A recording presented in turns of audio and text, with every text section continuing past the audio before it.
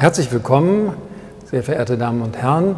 Ich begrüße Sie zu unserem heutigen Rundgang durch die Ausstellung Caspar David Friedrich und die Düsseldorfer Romantiker.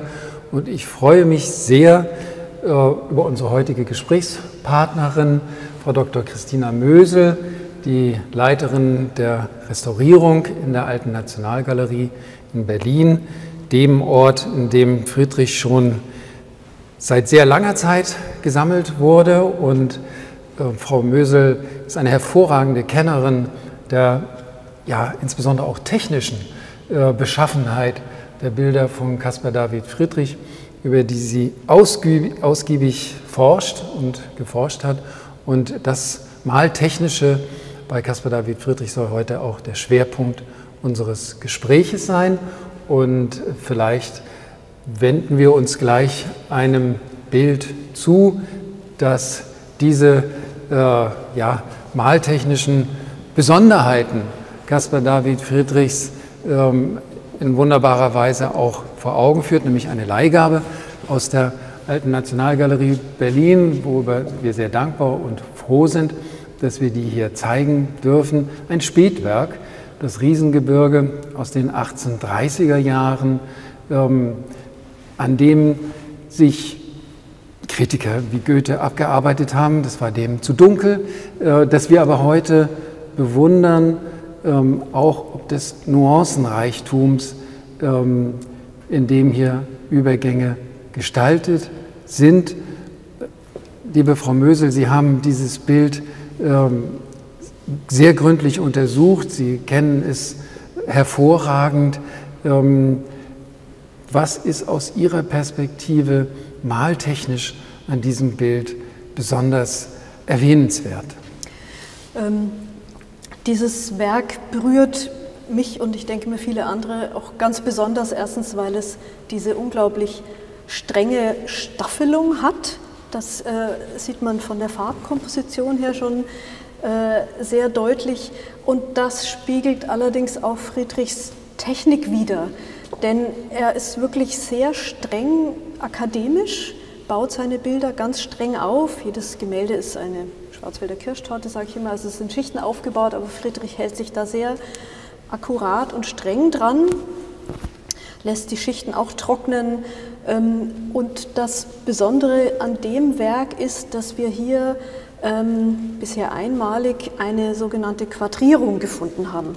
Äh, unter einer Quadrierung versteht man ein Liniennetz, das der Künstler auf die Grundierung aufbringt, mit Stiftmaterial, damals wahrscheinlich Bleistift, ähm, und mit dem der Künstler äh, die Komposition von einer kleineren Vorlage auf ein groß, das große Gemälde sozusagen bringen kann, also eine Formatveränderung ähm, äh, übertragen kann. Das ist eine Übertragungstechnik. Und ähm, man sieht diese Quadrierung jetzt natürlich nicht. Man kann die im Infrarot sichtbar machen. Mhm. Wir haben alle Werke von Friedrich mit Infrarot aufgenommen. Äh, und dort sieht man eben dieses Liniennetz, das ein Teil der Unterzeichnung ist, eine technische Unterzeichnung. Ähm, und das ist unglaublich fein, also man sieht es ja. wirklich nur, wenn man danach sucht, wie das immer so ist, man sieht nur, was man weiß ja. und wonach man sucht. Es gibt eine Zeichnung dazu, eine Vorlage, die eben auch quadriert ist mit diesem Netz, sodass es schon so einen Anfangsverdacht gab. Ja. Und daraufhin haben wir uns dann das Infrarotreflektogramm nochmal ganz genau angeguckt und ich vermute, dass die Linien auch deswegen so fein sind, weil Friedrich die eventuell ausradiert hat. Denn er wollte natürlich, dass durch seine hauchdünnen Malschichten, das ist auch so ein Phänomen bei Friedrich, er wollte natürlich nicht, dass diese Quadrierung, dass dieses Netzwerk dann durchscheint. Das ja. hat er bei seinen künstlerischen Unterzeichnungen, hat er in die Komposition oft mit reingenommen, dass man gerade bei dem Mönch am Meer dieses Dünengras, das ist die Unterzeichnung, da wollte er, dass man das sieht, aber natürlich nicht, dass man dieses Netzwerk sieht. Und da dürfte Friedrich sozusagen das radierend nochmal reduziert haben. Und hier haben wir das erstmals belegt und gefunden. Das ist ja eine wunderbare Entdeckung, äh, die da gemacht wurde mit Hilfe der technischen Untersuchungsmöglichkeiten, die heute zur Verfügung stehen.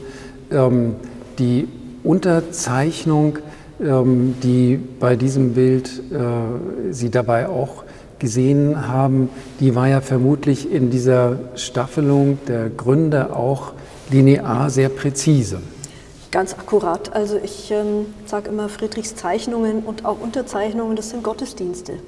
Also diese Akkuratesse, mit der Friedrich G. zeichnet, hat, hat er auch unterzeichnet. Das sind nochmal kleine Meisterwerke, die fürs menschliche Auge unsichtbar, aber eben schönerweise sichtbar gemacht werden können. Ja. Und da guckt man dem Künstler nochmal so richtig über die Schulter während des Schaffensprozesses. Da hat er richtig ähm, sehr eben mit Betonung auf der Kultur, das war ja auch so sozusagen sein Markenzeichen und er ist ja auch als Zeichner grandios ausgebildet worden und ist auch als Zeichner grandios, aber auch die Unterzeichnungen, das sind kleine Meisterwerke eigentlich und wie gesagt eine Art ähm, Andacht. Ja, und diese, diese Unterzeichnung, die überträgt also die Intensität der Naturbeobachtung, was Sie mit dem Begriff der Andacht meinen, überträgt sie auf das entstehende Bild. Ähm, und fängt damit natürlich auch so eine genaue Naturbeobachtung ein. Das war ja wohl der Grund dieser präzisen Unterzeichnung, dass Friedrich nicht jetzt beim Malen experimentierte, sondern einem Plan folgte. Friedrich war da sehr planvoll. Ähm, er musste auch planvoll vorgehen, denn er ging natürlich in die Natur, wie alle Künstler damals, und konnte aber fast nur eigentlich zeichnerisch diese Natur erfassen. Und deswegen hat er das mit so einer Akkuratesse auch ähm, mit so einer Akkuratesse sind auch diese Zeichnungen eben angelegt, denn diese Berührtheit, die muss es natürlich bis ins Atelier zurückschaffen, denn dort entstehen ja erst die Ölgemälde. Ja, es gab noch keine Tuben, mit denen spätere Generationen von Malern sehr viel einfacher äh, auch in der Natur dann arbeiten mhm. konnten. Mhm. Ähm, ich würde gerne noch mal auf das ähm, ja, auf die Lasuren zu sprechen kommen, auf diese unterschiedlichen ähm, Lagen äh, der Ölmalerei. Das wirkt zum Teil ja sehr dünn, diese einzelnen Schichten. Ja, also ähm, das war auch einer der vielen Ergebnisse der Forschungen zur Maltechnik Caspar David Friedrichs, dass ähm, es sich nicht um Lasuren im eigentlichen Sinn handelt, sondern tatsächlich um hauchdünne Malschichten. Also es war ganz klassisch Bindemittel und Pigment, aber eben unglaublich hauchdünn, sodass teilweise die Grundierung auch, vor allen Dingen in seinem Frühwerk, durchschimmerte und mhm. eben die Unterzeichnung durchschimmerte. Und auch hier lässt sich aber schon ein Prozess bei Friedrich feststellen, der durchaus nicht stehen blieb und festgefahren war, auch maltechnisch nicht, sondern der, wo man durchaus eine Veränderung auch in seinem maltechnischen Övre feststellen kann. Je älter Friedrich wird, desto dicker und dichter und kompakter werden eigentlich seine Malschichten und die Bedeutung der Unterzeichnung tritt dann eigentlich immer weiter zurück. Das mhm. war früher noch ein Gerüst, das er auch gebraucht hat wahrscheinlich und das aber auch in der Komposition mitgespielt hat und das verschiebt sich dann sozusagen, diese, ähm, dieses Gleichgewicht verschiebt sich dann so ein bisschen. Sie haben äh, diesen schönen Begriff einer Entwicklung vom malenden Zeichner zum zeichnenden Maler geprägt. Ähm, das, das finde ich sehr schön und sprechend. Er hat ja, Friedrich, erst sehr spät angefangen, Öl zu malen. Genau, das ist eines der vielen Mysterien, die immer noch bleiben. Ähm, er hat ja in Kopenhagen, wie das damals üblich war, in der Akademie ja überwiegend äh, Zeichnen gelehrt bekommen, Zeichenkunst, hat äh, sich dann nach Dresden begeben und hat dann auch erst gezeichnet und als Zwischenschritt hat er dann die Sepia für sich entdeckt, mhm. mit der er durchaus sehr Erfolg gehabt hat ja. und auch seinen Lebensunterhalt bestritten hat. Ja. Äh, und das, die Sepia kann man auch technisch fast so als Zwischenstufe zwischen dem Zeichnen und der Ölmalerei betrachten. Mhm. Und es ist immer noch nicht ganz klar, wie Friedrich, was Friedrich veranlasst hat, diesen mutigen Schritt zu gehen, dann einfach mal mit der Ölmalerei zu beginnen. Und die Sepia war da bestimmt so ein Zwischenschritt und sozusagen ein Herantasten auch an sozusagen ja, Flüssigkeiten, Zeichenflüssigkeiten mhm. und dann an Malflüssigkeiten im weitesten Sinne, um dann gleich mit dem Tetschen Altar tata, Furore zu machen. Furore zu machen, genau, ja. ein Skandalbild äh, sozusagen zu schaffen, gleich sein erstes ja. Format, ein großes ja. Format. Mhm. Also das ähm, zeugt schon von Courage auch. Mhm. Vielleicht werfen wir einen Blick in sein Atelier. Ähm, wir haben hier, ja. äh, das ist zufälligerweise wieder eine Leihgabe aus Berlin. ähm, eine, äh, ein Blick in sein Atelier. Das werden wir in einem weiteren Bild noch gründlicher äh, anschauen können. Ein etwas früheres Werk, das ist eine junge Frau ähm, beim Blick aus dem Atelierfenster Friedrichs auf die Elbe, die wir allerdings kaum sehen, nur in Andeutungen über das Segelboot und die Masten. Ähm, zwei sind dort zu sehen, wahrnehmen können. Äh, ansonsten ist es eine Rückenfigur äh, und der einzige, das finde ich wirklich hochinteressant, fast versteckte Hinweis darauf, dass das Atelier hier gemeint ist, dass es ein Ort der künstlerischen Produktion ist, sind diese beiden Flaschen, die man dort auf den ersten Blick gar nicht erkennt, erst auf den zweiten. Um was für Flaschen handelt es sich genau, da? Genau, also es handelt sich nicht um das Toiletttischchen von Frau Friedrich, genau. sondern es ist tatsächlich ja Friedrichs Atelier und deswegen sind diese Fläschchen auch keine Parfümflakons, sondern darin ähm, enthalten sind eben Malmaterialien von Friedrich, in dem ja. Fall würde ich davon ausgehen, dass es sich um Flüssigkeiten handelt, sprich um Bindemittel. So nennt man die Flüssigkeiten, mit denen eben Pigmente gebunden werden. Damals waren das trocknende Öle. Mhm. Und von der Farbigkeit her würde ich hier, eben wie gesagt, davon ausgehen, dass das Friedrichs Bindemittel sind, die da sozusagen als nette Attribute und Accessoires seiner jungen Gattin ähm, beiseite gestellt wurden, was man auch, wenn man sich mit den Atelierbeschreibungen von damals auseinandersetzt, Hinweis, als Hinweis deuten kann, dass es sich um ein Atelier handelt, ist, so, sind sozusagen diese Fensterläden im unteren Bereich des ja. Fensters, denn das war für die Maler ganz wichtig, dass sie eben nicht, also es musste gutes Licht natürlich sein, eine gute Lichtsituation, mhm. am besten Nordlicht. Also in dem Fall war es Nordlicht. Nordlicht. In dem Fall war es Nordlicht, in dem Haus an der Elbe 33. Ja. Ähm, aber was dann wichtig ist, ist, dass der Künstler nicht die direkten Lichtreflexe auf dem Bild hatte. Und deswegen sieht man in ganz vielen Ateliers, hat das auch Friedrich so sich bauen lassen, dass hier der untere Bereich des Fensters ähm, verdunkelt ist, verschattet ist. Das ist eben nicht die direkten Reflexe, sondern dass es sozusagen eine gute indirekte Ausleuchtung dadurch entsteht. Also Friedrich macht dadurch auch nochmal klar, das ist ein besonderer Raum mit einer Lichtregie, die er sozusagen in dem Raum führen kann, damit äh, das Malen ihm gut von der Hand geht. Was ich bei dem Bild auch interessant finde, mal technisch, ist, dass es in der Farbigkeit ja sehr zurückhaltend gemalt ist. Es ist in diesem warmen Braun, Blau, äh, Grüntönen äh, gehalten und die Untermalung äh, spricht stark mit. Mhm. Also das ist ganz exquisit, das beschreibt ja auch schon Meier Gräve in dem Ausstellungskatalog zur Jahrhundertausstellung 1906, dass es im Prinzip nur diese zwei Farbklänge gibt, dieses Rot-Braun und dieses grünstichige Blau, mit dem Friedrichs schafft, also so eine abwechslungsreiche und exquisite Komposition zu schaffen.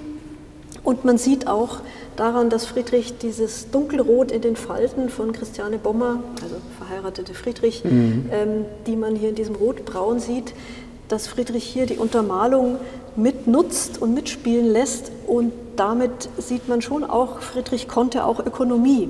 Ja. Also der konnte schon auch ökonomisch malen.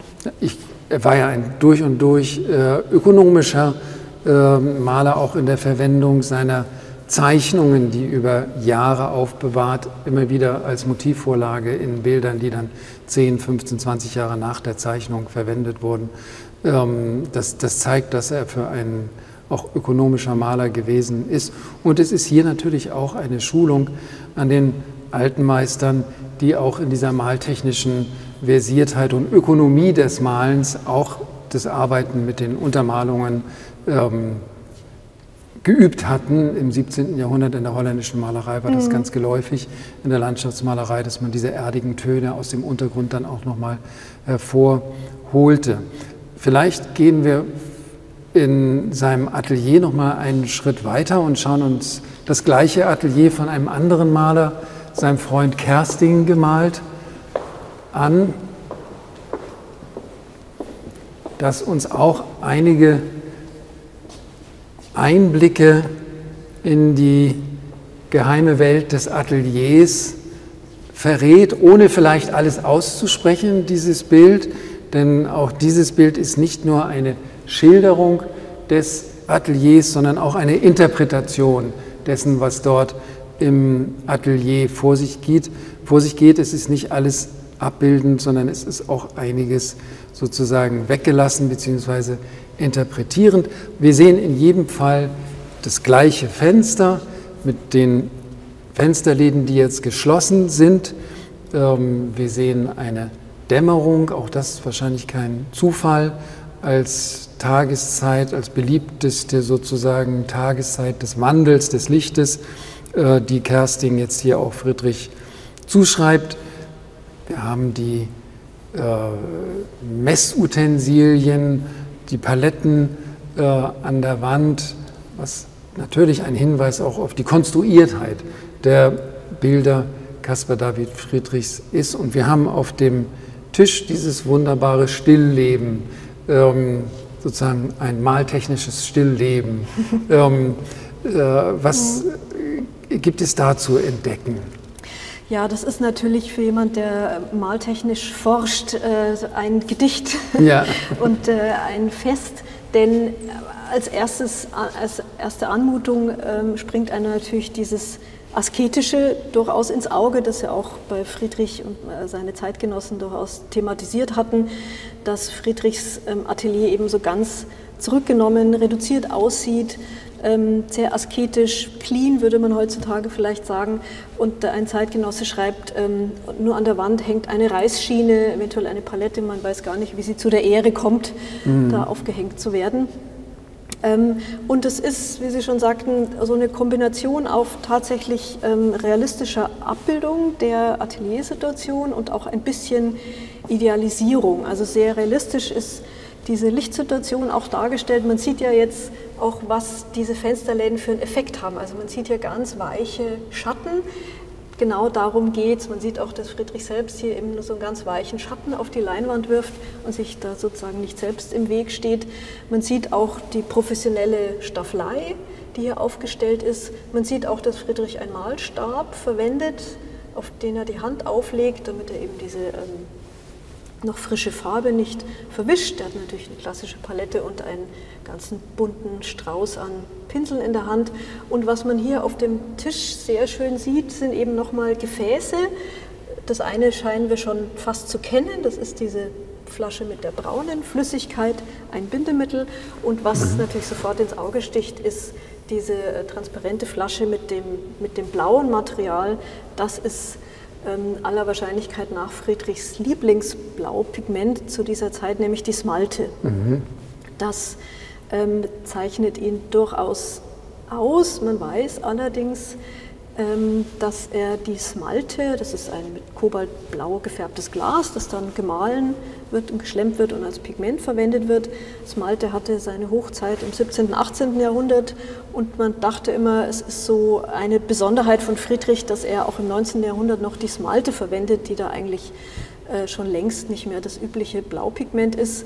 Ich konnte allerdings so im Laufe meiner Studien feststellen, dass Dresden eine Hochburg der Malmaterialien war, des Handels und auch der Herstellung damit und dass die Smalte auch im 19. Jahrhundert, zumindest in Dresden, gar nicht so unüblich war, sondern mhm. auch noch in alle Welt verschickt wurde. Also Friedrich hat die Smalte an seine Kopenhagener Kollegen und Freunde verschickt ähm, und von daher muss man sich ein bisschen von der Idee verabschieden, dass das was ist, was Friedrich so sehr auszeichnet und mhm. typisch ist. Ähm, und was auch noch interessant ist, was seine Blaupigmente betrifft, ist, und das zeigt, dass Friedrich schon wandelbar ist, denn er schwenkt dann in den 1820er Jahren etwa auf das modernere Blaupigment Kobaltblau um, mhm. genauso wie er beim Gelb von Neapelgelb auf Chromgelb umschwenkt. Also er sieht, nimmt durchaus wahr, was in seiner Umgebung, was es am Angebot gibt, prüft es und nimmt es dann auch an. Also er hat da durchaus auch äh, die Fähigkeit, sich zu wandeln und sich zu modernisieren und zu erneuern. Was man hier auch noch sehr schön sieht, ist der aufgeklappte Malkasten und hier meint man so eine Art Textil zu entdecken, so eine Art äh, Mallappen dürfte das sein, mit dem man entweder ähm, die Malschicht abtupft, wenn irgendwas nicht gelungen ist, aber vor allen Dingen eben auch die Malschicht vertreibt. Ja. Und das erklärt vielleicht auch diese extrem also traumhaft vertriebenen, diese Über Farbübergänge, für ja. die wir Friedrich so lieben, die er bestimmt, man nennt das, vertrieben hat mit einem, eventuell mit einem Mallappen, wie er hier dargestellt ist. Ja, wir haben das Blau, was sehr stark betont ist, was er natürlich insbesondere auch für den Himmel und das Licht, was aus dem Himmel scheint, ähm, gebraucht haben wird. Also auch wie so eine Art programmatische Hommage an, an das Licht des Himmels, Licht äh, in dieser Farbigkeit aus den, mit den Augen Kerstings. Ähm, eine kleine Unwahrheit, ähm, die Kersting sich leistet, ähm, ist, dass Friedrich ja hier gezeigt wird bei dem ersten Pinselstrich, der noch nicht da ist, aber der jetzt gleich sozusagen vor unseren Augen stattfinden wird. Und ähm, wir sehen aber keinerlei Vor- oder Unterzeichnung auf dem Gemälde. Ist das realistisch? Das ist ein Aspekt, ich würde mal vornehm sagen, der Idealisierung. Ja. Kerstin und Friedrich waren ja befreundet. Da idealisiert er. Was realistisch ist, ist die Farbigkeit dieser Grundierung. Also wir gucken ja nicht direkt auf die Leinwand, sondern das ist ja schon eine vorgrundierte Leinwand, auch in so einem hellen Grau so einem gebrochenen Weiß. Das war durchaus, ist durchaus noch realistisch. Was dann nicht realistisch ist, ist, Friedrich hat, wie alle seine Zeitgenossen, immer unterzeichnet.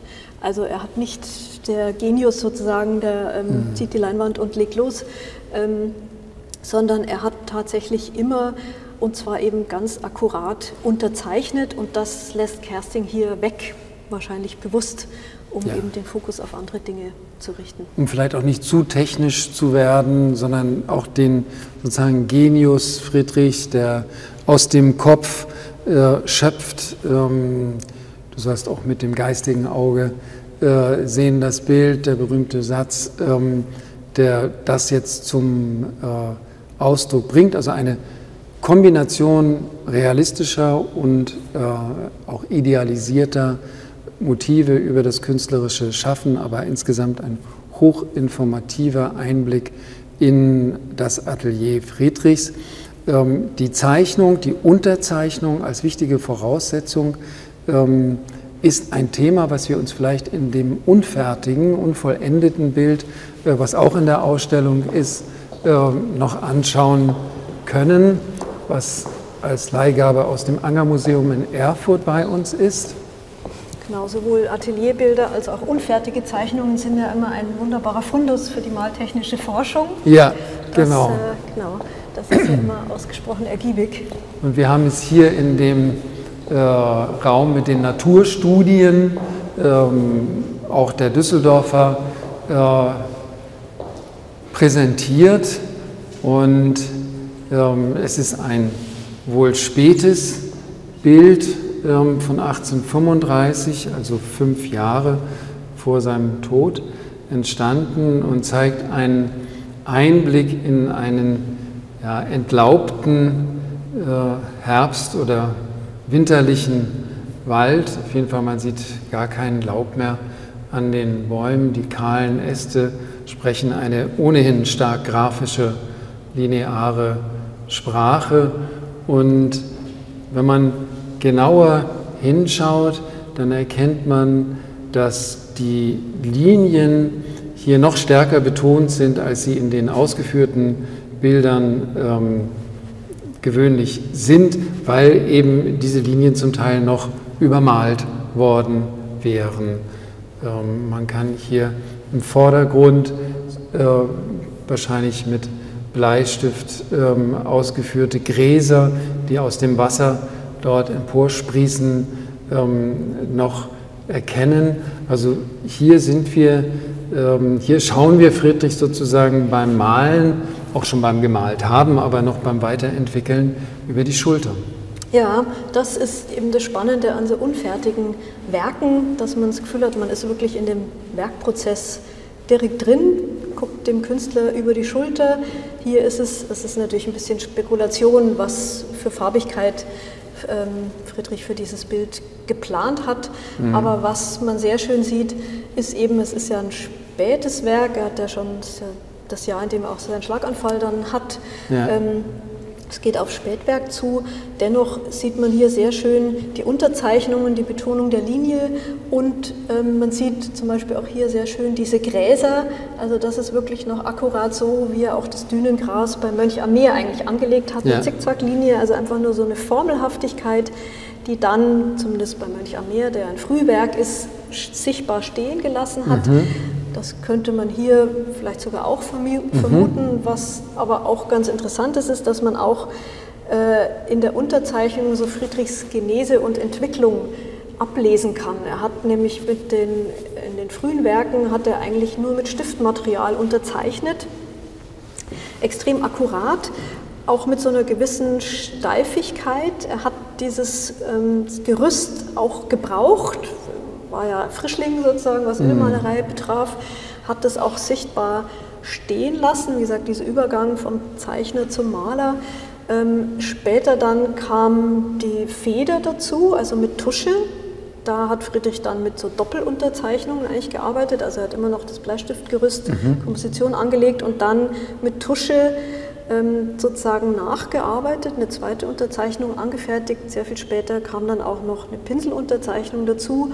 Und man merkt, dass, dass das sozusagen parallel läuft mit einer immer dicker werdenden Malschicht, dass die Unterzeichnung in ihre Bedeutung eigentlich immer mehr in den Hintergrund rückt. Mhm. Also er ähm, wird fast lässig. Ja, wenn man, wenn man äh, bei Friedrich von Lessig sprechen äh, äh, möchte, aber es gibt sicher eine Entwicklung in, in, in, der Sicherheit von Zeichnen und Malen hin zu dem Spätwerk.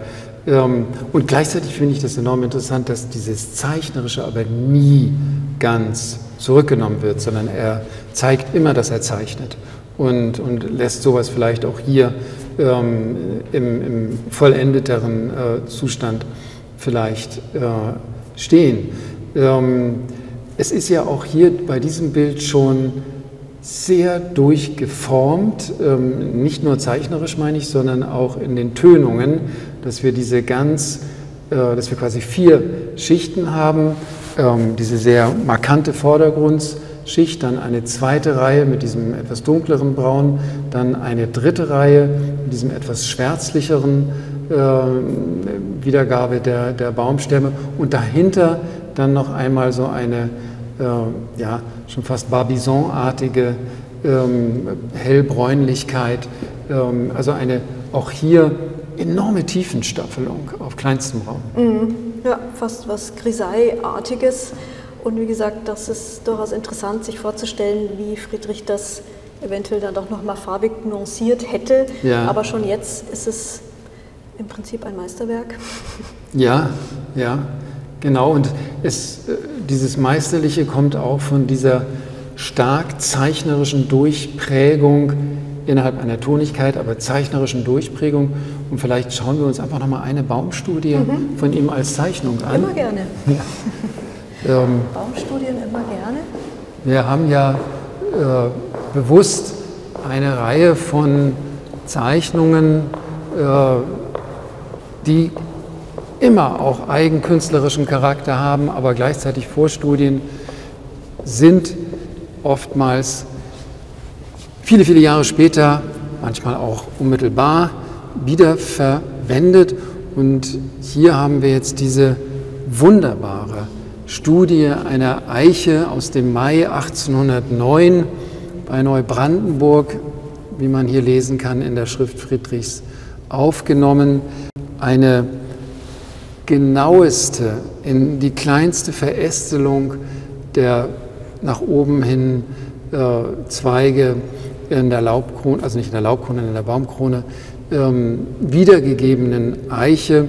Dieses Blatt war eines von denen, die der norwegische Kunsthistoriker Andreas Aubert ähm, im Nachlass von dem Sohn des Malers Dahl fand über den er forschte und bei diesen Forschungen eher zufällig auf diese enorme Qualität der Skizzen und Studien und Zeichnungen Friedrichs stieß, womit ihm dann klar wurde, dass Friedrich nicht nur ein Romantiker, sondern auch ein Naturbeobachter äh, gewesen ist, wie es kaum andere in der ersten Hälfte des 19. Jahrhunderts in Deutschland gab. Und das gab diese Entdeckung äh, dieser Studien den, den Anstoß, Aubers Friedrich neu zu sehen, über ihn zu forschen, was dann auch in die berühmte Jahrhundertausstellung mündete, als Aubert ganz wesentlich den Teil kuratierte, der um diese 32 Werke Caspar David Friedrichs, die da ausgestellt waren,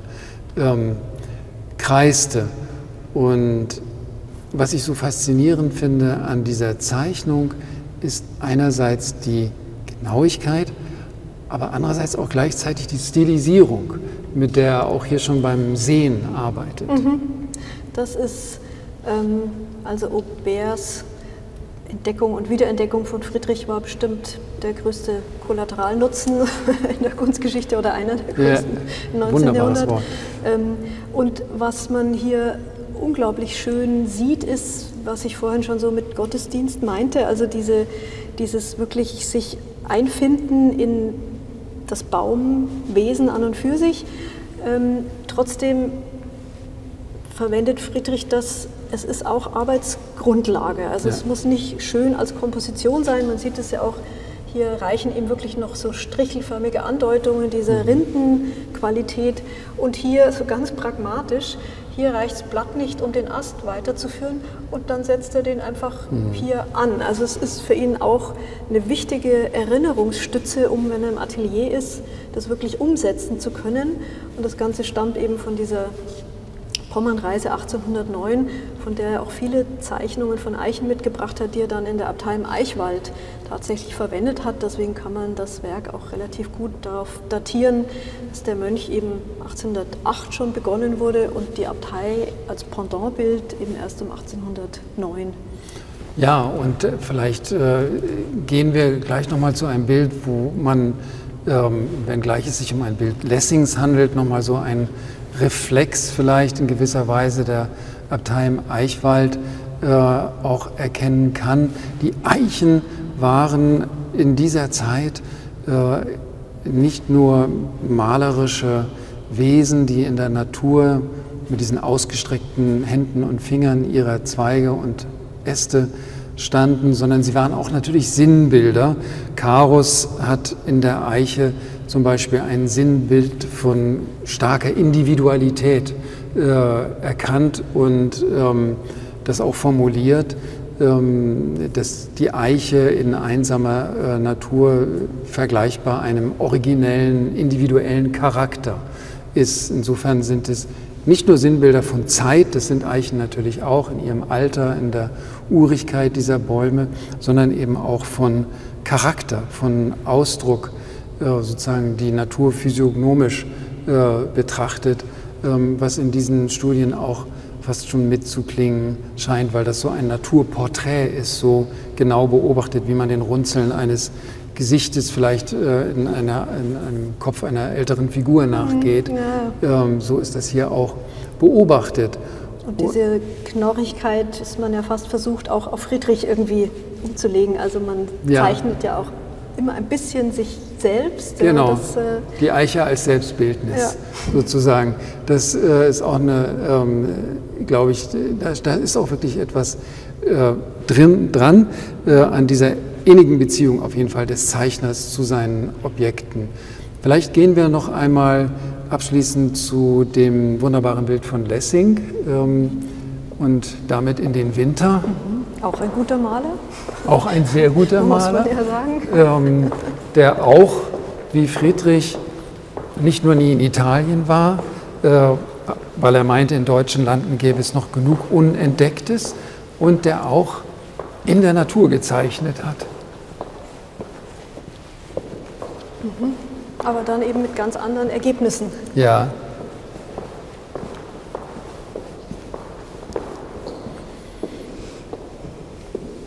Ja, Lessing als der große Konkurrent von Caspar David Friedrich, der viel jüngere, ähm, aber der von den Zeitgenossen sozusagen als der würdigere Nachfolger, sozusagen der bessere Friedrich, ähm, gehandelt wurde.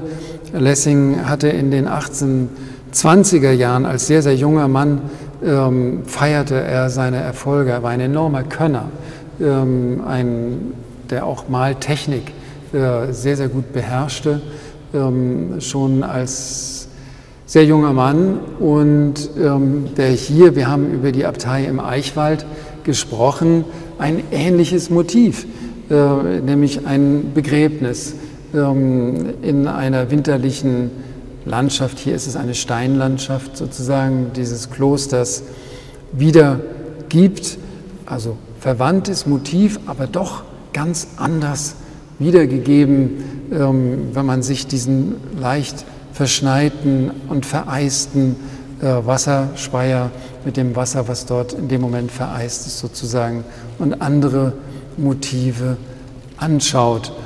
Ähm, und doch in diesem anderen äh, noch einen Bezug hat zu dem Gefühlvollen bei Friedrich.